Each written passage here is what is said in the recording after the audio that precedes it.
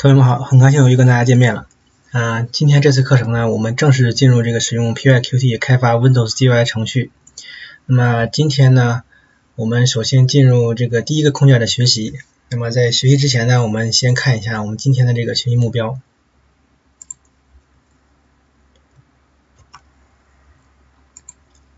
啊，我们今天呢，首先要掌握这个 Eric 开发 PyQt 的这个流程。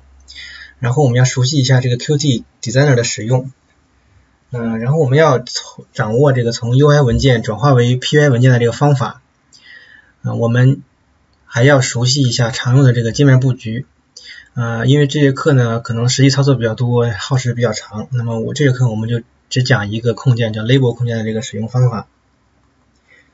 好，我们先进入第一项。呃，Eric 这个开发流程呢，其实说起来也挺简单的，它就包括以下几项啊。首先，我们开发一个工程的话，首先是要新建这个工程。然后呢，因为我们开发的是这个 GUI 的这个工程，所以我们要新建一个 UI 文件啊。这个 UI 文件的后缀名就是点 UI 啊。呃，新建这个 UI 文件之后呢，因为它默认的是空白的这个窗体，所以我们要编辑这个 UI 文件，然后给它加入我们想让它显示的东西。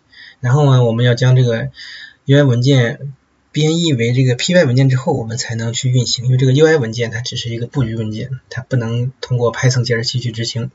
那么在这个编译的过程中呢，我们可能会遇到我们这个课程中的第一个 bug。嗯，开发人员呢就要做好终生与 bug 做斗争的准备哈。呃，当我们这个战胜这个 bug 之后呢，我们最后要尝试运行一下这个 Py 文件。好，这个废话少说，我们先进入这个操作环节。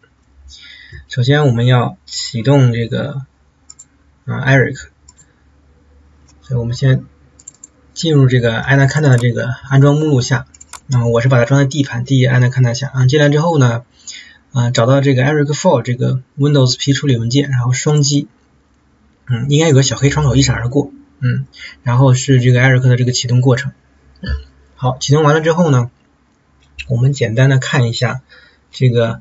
Eric for 的这个页呃 IDE 的这个布局，呃，它左边这个区域呢是我们的这个工程栏啊，因为我们现在没有新建工程，所以这边是空白。中间这个区域呢是代码浏览区，呃，因为我们也没有打开代码，所以这边也是一个空白，并且有一个默认的这个小码数的图标。下方这个区域呢是呃交互区域，就是我们程序的打印呢以及输入啊都在这个区域进行。右侧的这个小窄条呢是常用的一些工具栏，嗯，上方呢这些是菜单栏以及常用的一些快捷键。那么我们新建工程就从上方的这个菜单栏开始，点击这个 Project，然后点击 New，就有一个窗体弹出来，让你设置这个工程的属性。呃，这个软件我没有做汉化，所以我建议大家也不要去做汉化，因为这个。嗯，开发软件搞成汉语的话，看起来有点怪怪的，并且开发人员的第一手资料都是英文资料，所以大家还是熟悉这个英文环境比较好。那么我们先给这个工程取个名字，名字就叫麦子，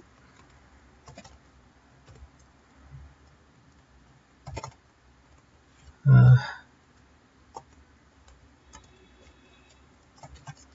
，pyqt。test，然后这个编程语言默认是 Python，这我们不用修改。呃，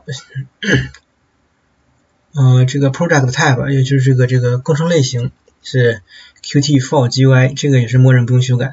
那么下面这个工程目录这一项，一般我们是要根据个人爱好或者是这个呃你常用的工程目录进行修改。那么这里我们点击这里进行修改，在这儿呢我们新建一个文件夹，这个名字就与我们刚才取的工程名字一样就好。MySPyQt 下划线 test，好，我们选择这个文件夹作为我们的这个工程目录，然后点击选择文件夹。那么下面这些呢，比如说作者啊、email，还有这个 description 这个描述啊，啊，大家喜欢填就填两句，这这里我就不再去仔细的填写这些东西了。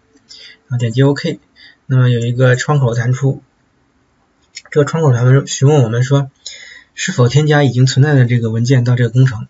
啊，今天呢，我们是从头建立，从啊白手起家，从空白开始，所以我们没有这个已存在的文件，所以我们点否。好，这样呢，我们这个工程就建完了。那建完工程之后呢，我们发现这个工程目录里面多了一个 init 文件。那我们打开这个文件看一下啊，什么都没有。那么这个文件的存在意义就是告诉 Python 解释器，这个文件夹下的都是 Python 脚本。好了，那么接下来我们进行第二项，就是这个新建 UI 文件。嗯，我们点击这个小蟒蛇旁边的这个小图标，这叫 Forms 图标，就窗体。切换到这个 Form 下之后，我们发现这个区域依然是一片空白，因为我们之前是空白的工程，什么都没有。那么我们在这个空白区域右键。选择第二项 New Form 就是新建窗体。好，又有一个啊对话框弹出来了。这个问我们说选择一个这个窗体的类型，它默认是这个 dialog 就是对话框。那么我们这一次呢啊不选择这个 dialog，我们点击这个小三角下拉选择第三项 Main Window 就是主窗体。我们从这个主窗体开始学起，点击 OK。那么它又弹出了一个界面，让我们。存放这个啊 UI 文件，那么我们取个名字，还是跟刚才一样，MySQLTest 点 UI 啊，别忘了把这个后缀名加上啊，点 UI 文件，然后点击保存，那么这个文件就生成了。啊，生成之后呢，它默认会用这个 Qt Designer 为我们打开这个文件，就是 Qt 设计师。好，啊，打开之后呢，我们先熟悉一下这个 Qt 设计师这个环境。它左边呢是各种控件，很丰富，我们看哈。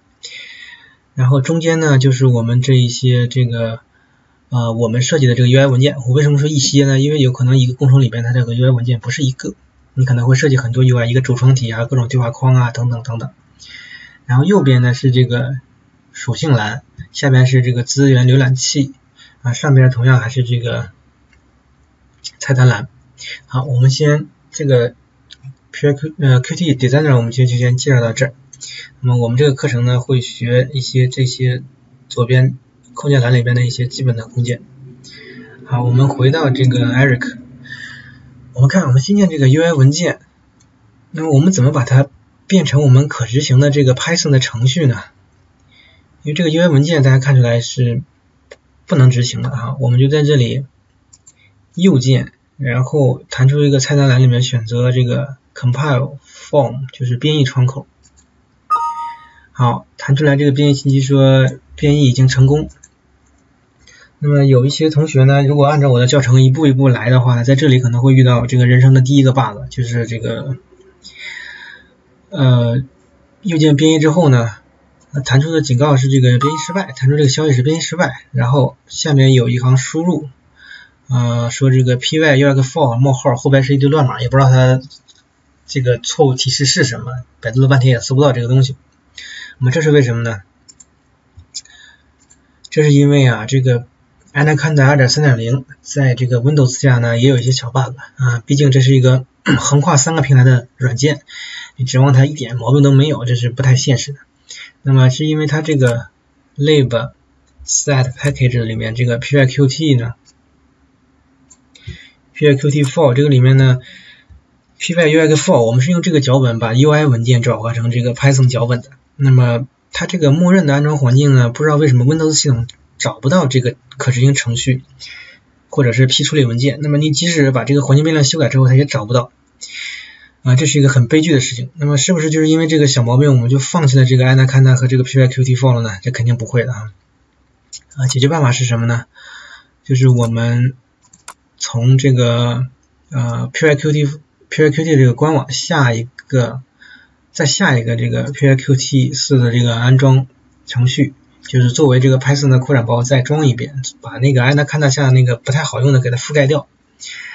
嗯，这个是我下载的六十四位版本的，已经传到网盘上了。那么后面我会下一个三十二位版本的也传上去，方便三十二位的同学使用。嗯，这个程序呢下载完之后，你直接。装完艾达看到之后，直接双击安装它就可以。那么后面通通都选默认。我这个软件因为我已经装过它，所以它问我是不是它已经有检测到已经有一个这个 copy 在那个里面啊，问我是不是要先卸载它。因为我这里啊，我只是给大家做个测试，所以我就不卸载，不去安装它了。大家装的时候全部默认就可以。那么装完之后呢，你再回到 Eric 这个环境就可以顺利的完成这个界面的啊编译了。好，编译完之后呢，我们肯定要迫不及待的去运行一下这个界面。这个编译完自动生成的这个程序呢，有四十几行，虽然是个空白程序，但是还有四十几行。这个文件叫 UI 文件，就只是用来显示界面的，并没有这个啊槽函数去处理这些动作，所以大家不用关注，花太多的时间去关注这个文件啊。大家注意一下这个自动生成的这个 PI 文件的这个命名方式很有意思啊，它有个前缀叫 UI，后面是我们的这个工程名。也就是说，这个文件只是一个 UI 文件，它只能显示。那么我们怎么运行这个文件呢？可以从这里 start，然后 run script，或者是用快捷键 F2。好，又弹出一个窗。哎呀，这个软件怎么这么多弹窗是吧？弹窗问我们是不是要这个输入一些参数或者命令，我们这里不需要，直接点 OK。好，这个很激动啊，我们这个第一个 GUI 程序就运行成功了。那么虽然什么都没有，但是可能。对于初学者来说还是很兴奋，这个毕竟是第一个 GUI 程序。那么我们把它擦掉，又来一个弹窗，哎，有完没完？这个弹窗说这个程序已经结束了，并且那个退出状态是零，也就是说没有异常。我们点击 OK，然后不用管它了。好，我们这个用了十分钟时间，大概的讲了一下就 Eric For 开发这个 PyQt 程序的这个流程。一般到这儿呢就已经。基本上把 UI 开发完了，那么后面会处理一些草函数什么的，这个将我们在后面讲解。我们继续往下进行，看一下这个呃 Qt Designer 的这个使用。这个 Qt 设计师呢，它有几个特点，就是说它拖拽布局，并且有多种控件，刚才大家也看到了。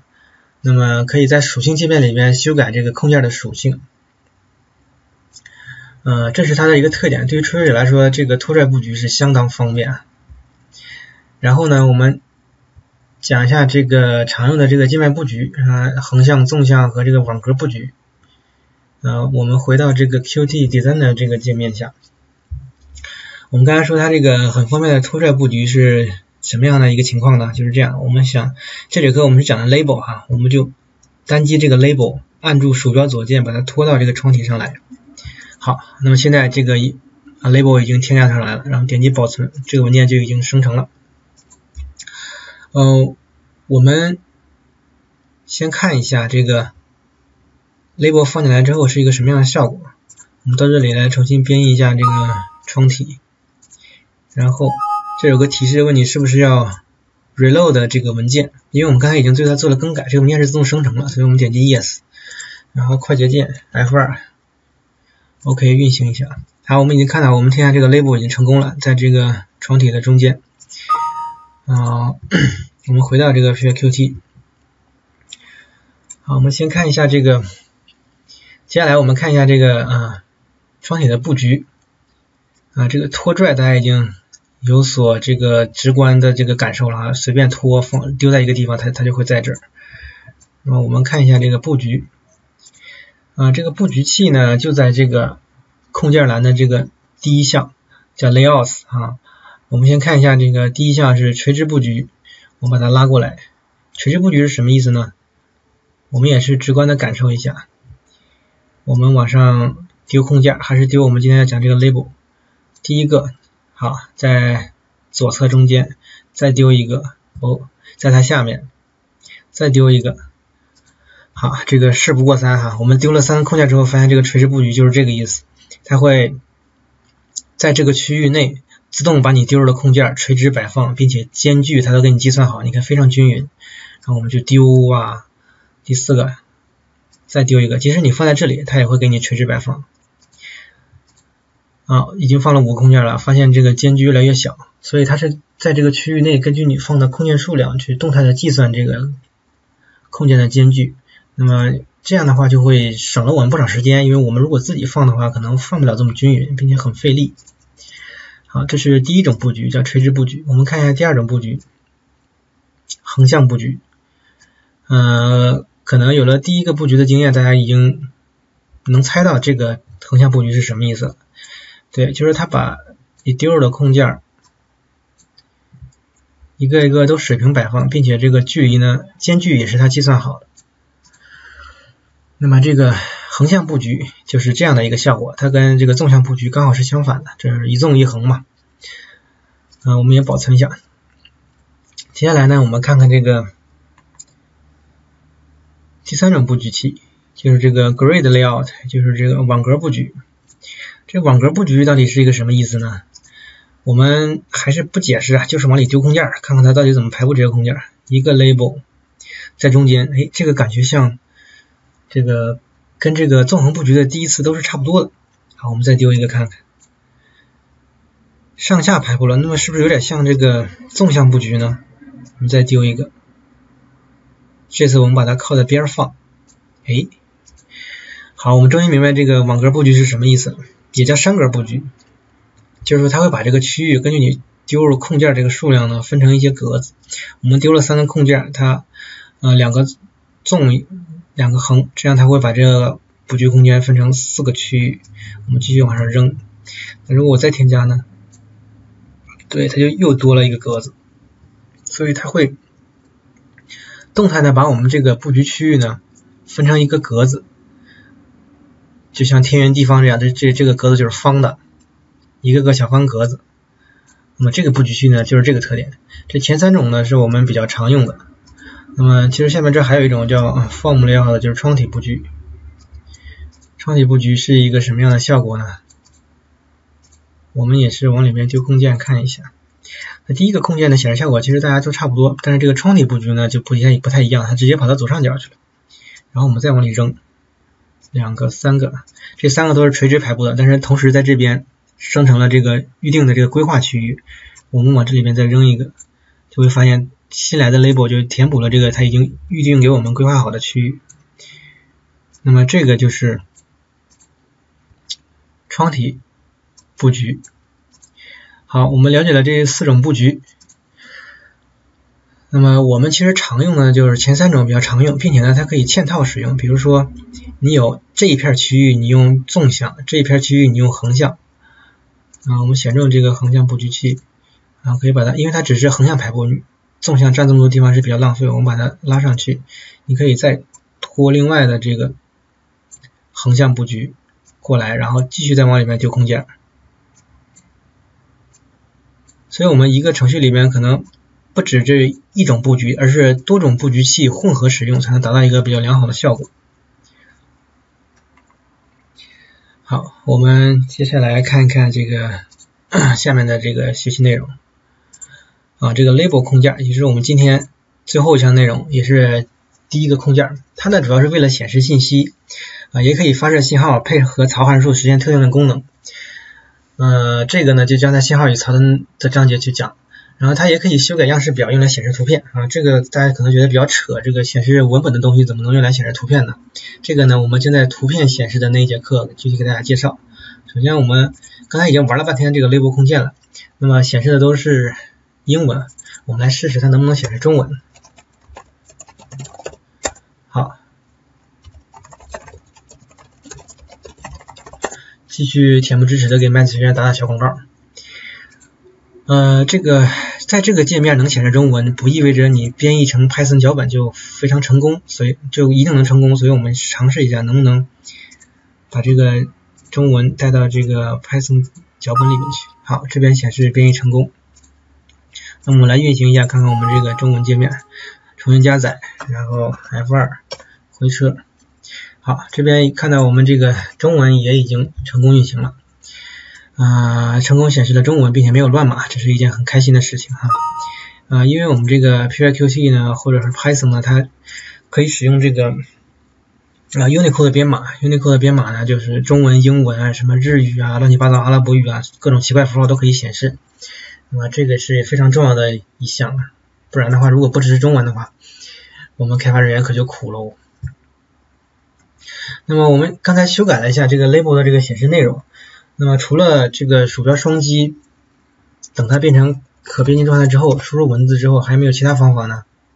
还有第二种方法就是选中这个 label，然后在它这个属性页里面会有很多属性，什么字体呀、颜色呀，然后还包括一个这个 text 的属性。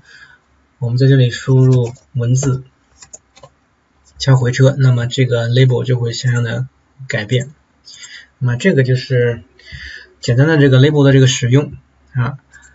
那么今天呢，这个课呢实际操作比较多，但是我们并没有敲太多代码。那么后面的课呢会逐渐的、逐渐的这个结合这个呃 GUI 拖拽和这个编写代码同时进行，因为我们写槽函数的时候会是需要自己并并且函数处理这个 GUI 的这个动作。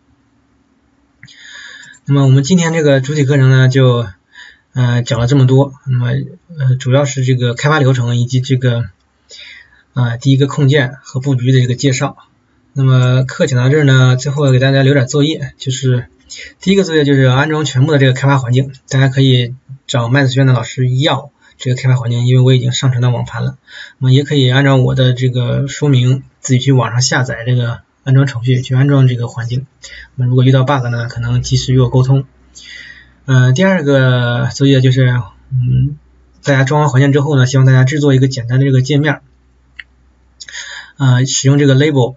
可以显示一些今天的这个小八卦新闻啊，然后呢，可以更改一下这个显示字体呀，呃，并且修改一下这个 label 的这个颜色，呃，这个我没有在课程中操作，但是我已经告诉大家怎么改了，在属性里面改哈，所以希望大家把这个作业完成。